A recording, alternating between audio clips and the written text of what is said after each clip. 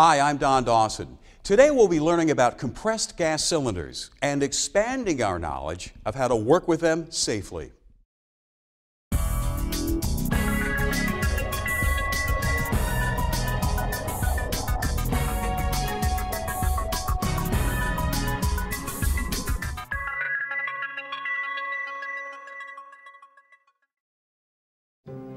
You'll find them being used as part of welding systems, in manufacturing operations, and in maintenance activities. They're used all the time in the refrigeration of materials and equipment, and even in medical procedures and laboratory experiments. We're talking about compressed gases. These days, it's hard to find a facility that doesn't use them in some way.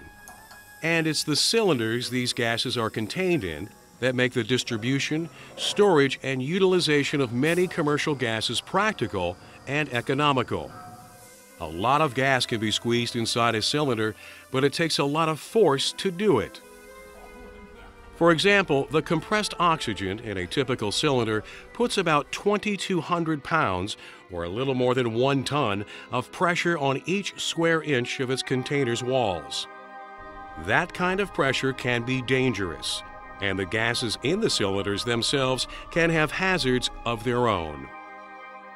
So let's take a closer look at how you can avoid these hazards and work safely with compressed gas cylinders.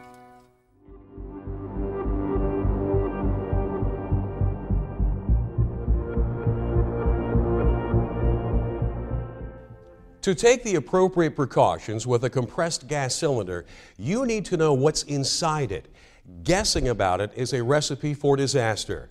Hooking a cylinder full of the wrong gas into a system could be the last mistake you ever make. So let's dispel one myth right up front. The color of a compressed gas cylinder won't tell you anything about its contents. Cylinder colors are not standardized. They're chosen by the companies that own the cylinders. And each owner may have a different color coding system. It's the labels that are affixed to compressed gas cylinders that really tell you what's inside. They will provide the name of the gas, the hazards you should watch out for, and how to handle the gas safely. Never remove, deface, or change a cylinder's identifying labels.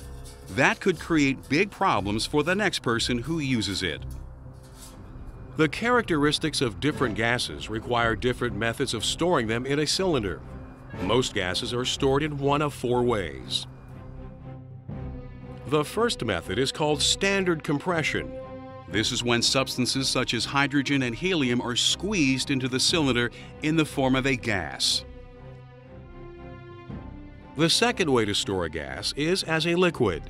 This works well for gases such as carbon dioxide and propane that liquefy under ordinary temperatures and at pressures between 25 and 2,500 pounds per square inch.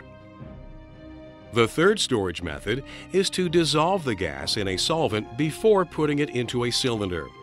Acetylene is the only common gas that's stored this way because it's unstable in its pure form and must be dissolved to be stored safely.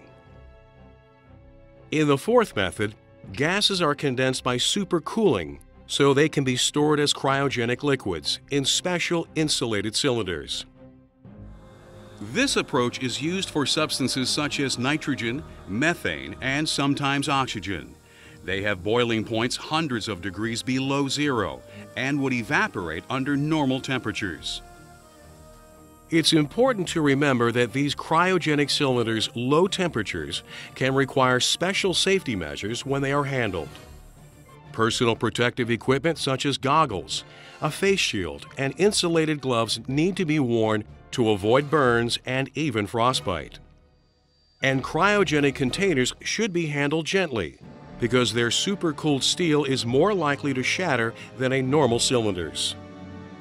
Leaks are more likely with cryogenic cylinders too because valve washers on the containers can become brittle, break, and allow gas to escape.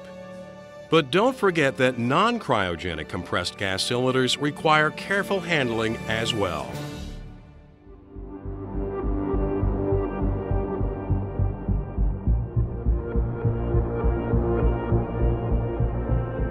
Compressed gas cylinders have two general types of hazards. First, the hazards that exist because of the high pressures that are exerted on the cylinders themselves. And second, the hazards that are associated with the specific gases they contain. Because the gas inside is highly pressurized, damaging a cylinder valve can be very dangerous. If the valve opens unexpectedly or breaks off completely, the rapid release of gas can make the container take off like a rocket, ricocheting around at a very high speed and doing extensive damage to property and people. If for any reason the metal body of a cylinder fails, it can also explode with deadly force and scatter fragments just like a bursting artillery shell. This brings us to the particular hazards of the gas inside the cylinder. Imagine a cylinder that's set up in a lab, on a plant floor, or in the basement of an apartment building. A faulty connection begins to leak. The pressure continuously pushes the gas into the atmosphere, where it disperses throughout the space. If the gas in the cylinder is flammable, like hydrogen or methane, all it has to do is find a source of ignition, such as a spark or flame, and it will burn or even possibly explode. If the gas is an oxidizer, such as oxygen or chlorine, while it won't burn itself, it can help a fire start more easily and burn more fiercely once it's underway. If the leaking gas is a corrosive like ammonia or toxic like carbon monoxide, it can cause physical injury or poison anyone who is exposed to it. And all of these gases can be hazardous even in low concentrations and are often invisible and or odorless as well. And any gas other than oxygen or plain air that leaks from a cylinder can push breathable air out of a space so that the people inside will suffocate. Remember, too, that any gas is more hazardous when it's stored as a cryogenic liquid because they give off such large quantities of gas when they vaporize. And bigger volumes of gas can cause bigger problems.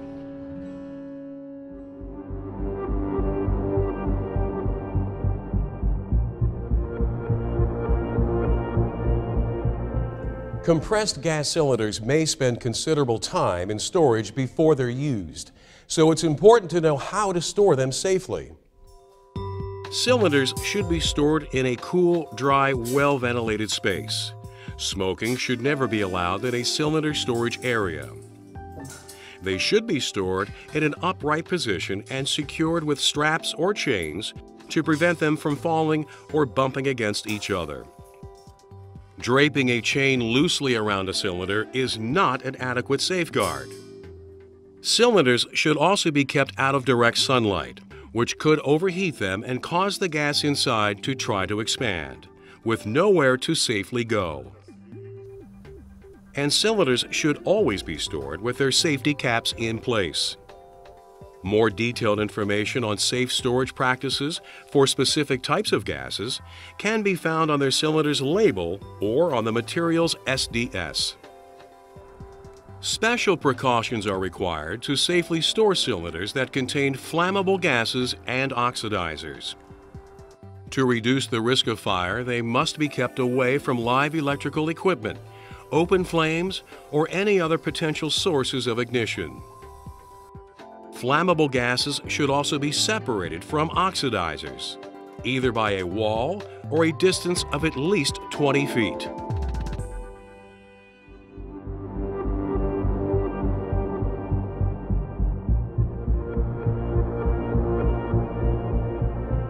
Compressed gas cylinders make it simpler to work with gases, but the cylinders themselves need to be handled with care.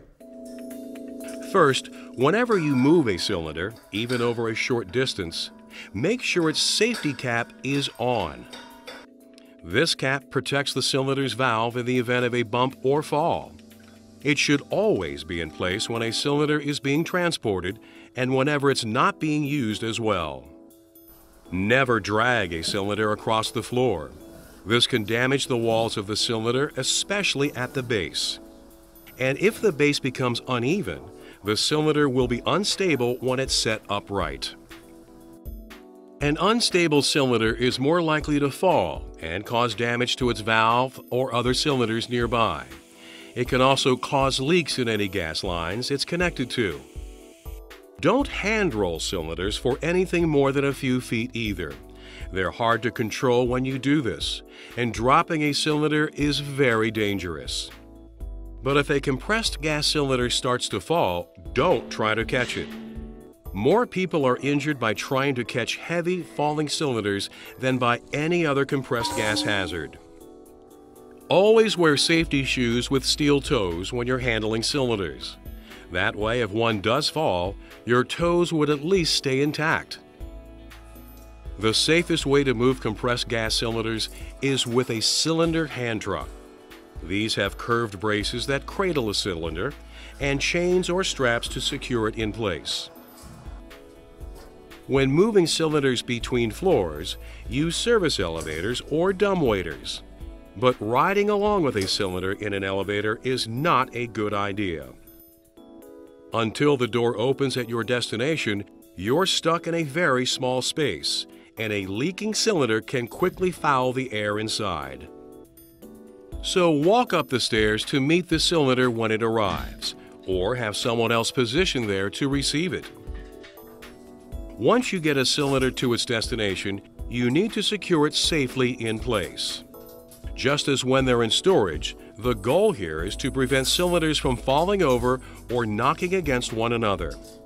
Physical stresses like that can lead to gas leaks and much worse.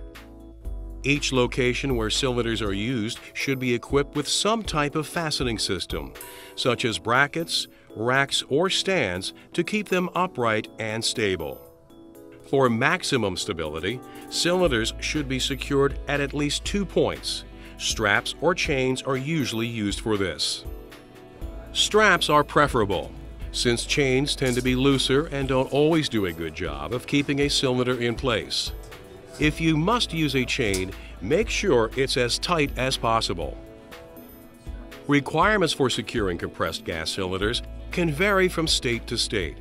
So ask your supervisor about the specific laws and regulations that apply to you.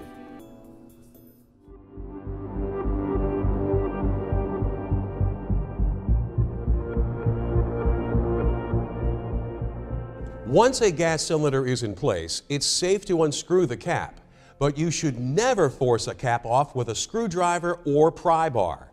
That could accidentally open the valve or damage it there are two valve components that are critical for a safe hookup. The first is a regulator, which controls how fast the gas can flow out of a cylinder. This device reduces the delivery pressure to a level that's safe and practical for the user at the other end. The second component is a CGA fitting, CGA for short, which connects the regulator to the cylinder in most cases, the CGA is attached to the regulator permanently. The purpose of a CGA is to make sure that the gas in a cylinder is the right one for the system it is being hooked up to. So design details of CGAs will vary depending on the type of gas in the cylinder. Some CGAs are larger than others. Some have washers, some have notches and they may have right or left hand threads. Each design matches a specific gas to its appropriate delivery system. When a CGA doesn't fit easily onto a cylinder's valve, there's probably a reason for it. That's why you should never attempt to connect them by force. That stubborn CGA is actually preventing something bad from happening. There's another safety fitting on most valves you should know about and it's actually intended to leak under certain circumstances. It's called a pressure relief device, or PRD. If the pressure in a cylinder gets dangerously high, the PRD opens and vents off some of the gas, reducing the pressure and preventing a potential explosion.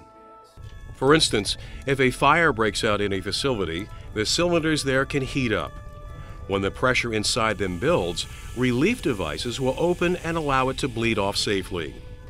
This means that firefighters can enter the facility to battle the blaze without fear of encountering exploding cylinders.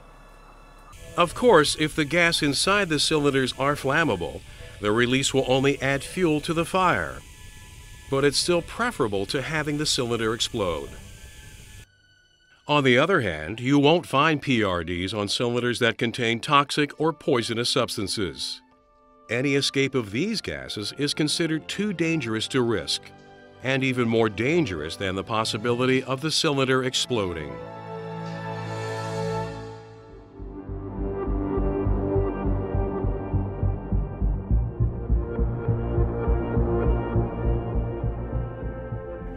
Many of the safe practices that are used with compressed gas cylinders focus on preventing leaks. This is why you should always remove rusty, corroded, and damaged cylinders from service immediately before they develop a leak. If you ever detect a gas leak while you're handling a cylinder, alert your supervisor right away and remove the cylinder from service if you're authorized to do so. You should always test for leaks in the connection after you've installed a new cylinder into a gas delivery system. You can do this by wetting down the surfaces with a diluted soap solution. If bubbles appear, you know that there's a leak somewhere. To pinpoint the source of the leak, wipe off the general area, then reapply the soap solution to a smaller section of the connection. If bubbles don't appear, wipe the solution off and try another section. Keep going until you find the leak. Remember to wipe off the old solution before each new test. Leaking valves can often be repaired just by tightening them. So make sure you have the correctly sized wrench or other tightening tool handy. If you can't fix a leak, alert other employees in the vicinity. They may need to evacuate the area. Then notify your supervisor. If you're qualified and have been asked to repair a leaking cylinder that hasn't responded to tightening, be extremely careful. First, obtain the SDS for the gas that's in the cylinder and determine its characteristics and potential hazards. If necessary, have backup personnel in place to help you.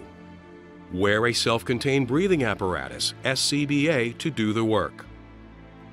If the problem persists, take further action according to your facility's emergency action plan.